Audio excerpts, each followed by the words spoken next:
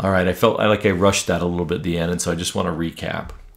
And so um, in this link on our index page, I have a link to ASP Controller Home, ASP Action Dating Application. And so it's going to go to the home controller. It's going to look for an action called dating application. And then it returns this view with the blank parentheses. Whenever we do that, it's going to default to look for a view with the same name as the action. And so it jumps over and finds that view, and that's how we're hooking this up. Now, what we had before, again, was fill out application. And we even had in the home controller an action that said fill out application. And when I run this, it's set up fine, but when I clicked on the link, it's saying, look, I went and looked in the home folder because it was in the home controller, so I'm trying to find the matching folder to find this fill out application. I looked in the shared folder and I can't find it there either, and so crash, right?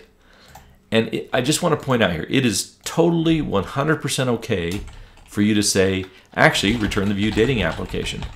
We're going to do this in the in the not too distant future, where we'll be returning to different views. You don't have to have these blank parentheses, but in this particular instance, my personal preference is to have them match. And so I'll just change this to say, actually the action is going to be dating application instead. And then in the home controller, I'll change this to be dating application. And that removes the need for this putting something in there. And by the way, I can still put it in there. It doesn't hurt. I can still put it in there and it will still run fine, even if I have the, the view I'm pointing to be the same name as the action. And so, again, everything I'm doing is try to drive us toward understanding. And so I'm teaching principles here that you can apply in the future as you need to uh, go to different views. I just want you to understand how it works. And then you can go from there and, and you won't get lost um, rather than trying to just follow a series of steps. All right. Well, let's let's finish here going and, setting up this uh, dating application. And so we need to have here a little form for the user to fill out in that uh, dating application. And so let's jump to our dating application view and let's create a little form. And so below our little heading here, I'll drop in some form tags. And I'm just going to put in a label. And the label is going to say, uh, let's get their first name,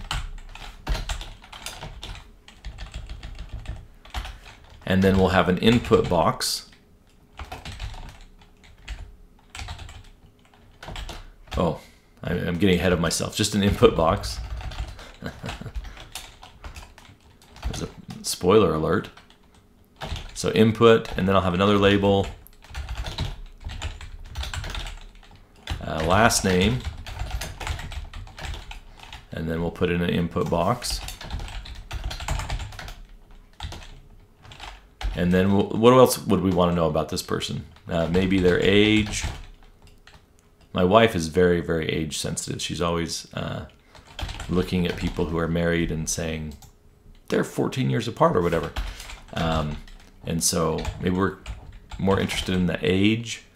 Obviously, as you get older, age uh, matters less and less.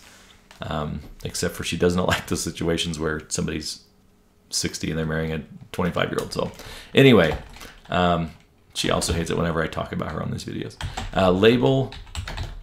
Uh, let's. What else would be interested in? Maybe their phone number to contact. Their snap. Should we do their snap? No, we'll do phone number. Uh, input box for that. And then what else would we be interested in? Maybe their major, right? Major.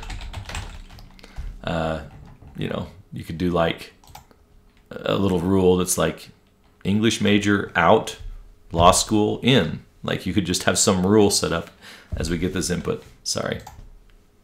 Sorry for the English majors out there. Okay, input um, for that. And then uh, what else would we be interested? Uh, occupation. So label with an occupation. you know, same kind of automatic rules you could set up. Um, you know, auto accept if it's a doctor or a pilot. Uh, you know, if it's someone who's a doctor and a pilot, you know, just proposal. I don't know. Um, so, and then th this is really critical. The last little box here we're going to do is a is important. So this is a measure of their level of creepiness and or stockiness. And so um, this is going to be our um, label uh, where we say uh, creeper stalker level. All right, so creeper stalker level. Um,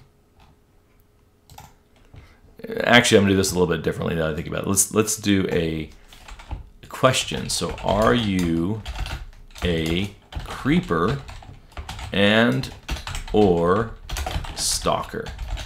All right, so are you a creeper and or stalker? And on this one, just to get a little bit kind of a different kind of input, what we're gonna do is do a little select list here. If you've done this, that just gives us a, an option to check yes or no, right? And so we, we can put in our select, we can put options. And so I'm gonna have an option value. This one is going to be true, and then that'll be yes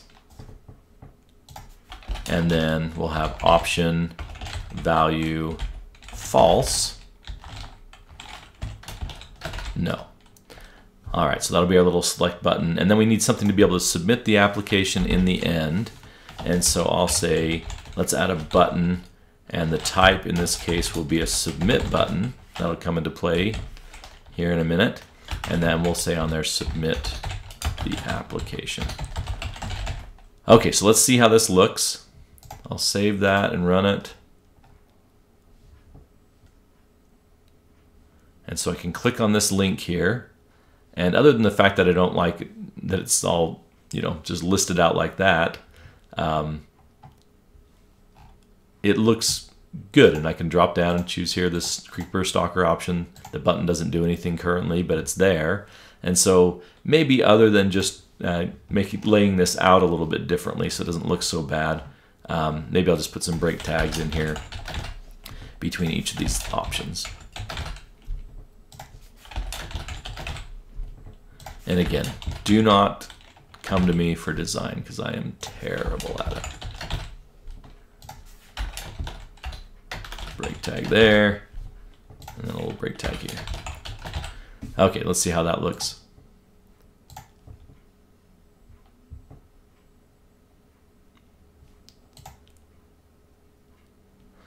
And sure enough, that looks a little bit better. Still not great, but again, this is not a class in design. You're gonna have to get that somewhere else because I uh, I'm an excellent teacher, uh, but I not that good. I'm good, but not that good. Some of you are questioning the the first good. All right, well let's go ahead. We've got our form now, but it's not hooked up to any data. And we haven't done anything so far with models. And so next is where we introduce this idea of incorporating the model into the form. We'll do that in the next video. Spencer out.